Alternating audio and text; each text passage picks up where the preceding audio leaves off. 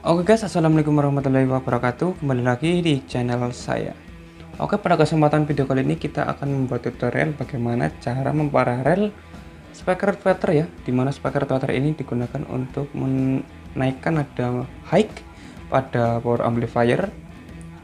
Dan oke, langsung saja tanpa basa-basi, langsung saja kita ke skemanya. Let's go. Oke guys, ini adalah speaker tweeter ini yang mau sudah kita pasang ya. Tapi saya tidak videokan cara pemasangannya. Saya akan menjelaskan bagaimana cara penyambungannya saja ya. Untuk memparalelnya.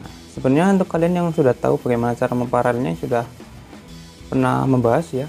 Bagaimana cara pemasangan seri paralel pada speaker. Kalau kalian ingin lihat langsung aja cek kartu di atas ini atau mungkin saya akan tambahkan di di deskripsi ya di mana paralel itu positif ketemu positif dan negatif ketemu negatif ya.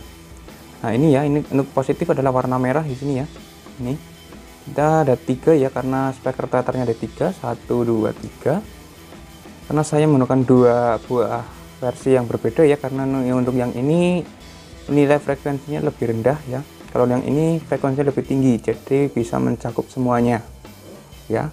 Nah, karena itu saya ini bikin dua untuk frekuensinya lebih rendah dan satu untuk frekuensinya lebih tinggi. Karena dua ini dua banding satu ini wattnya besar ini ya.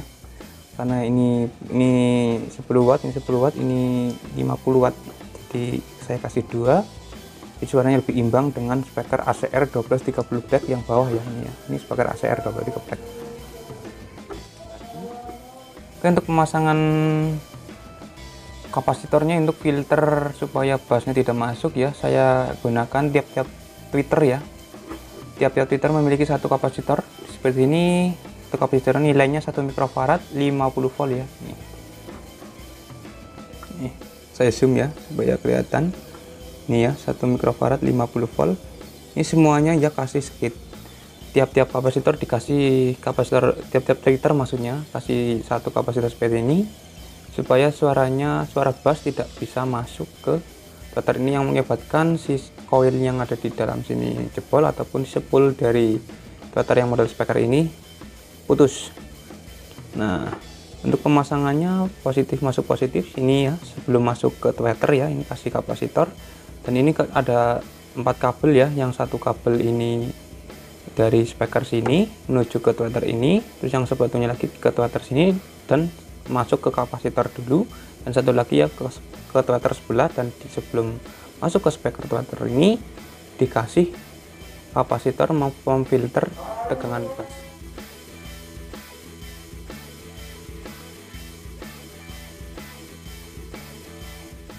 Oke mungkin segitu aja untuk pembahasan video kali ini untuk bagaimana cara memparalel speaker tweeter dengan benar ya untuk para pemula khususnya. Jika ada yang salah atau ada yang kurang atau mungkin ingin anda tanyakan tentang power amplifier dan aksesorisnya bisa langsung saja kalian tambahkan di kolom komentar di bawah dan langsung. Dan jangan lupa ya jangan lupa subscribe channel ini nyalakan juga tombol loncengnya supaya anda tidak ketinggalan untuk video-video terbaru di channel ini. Terima kasih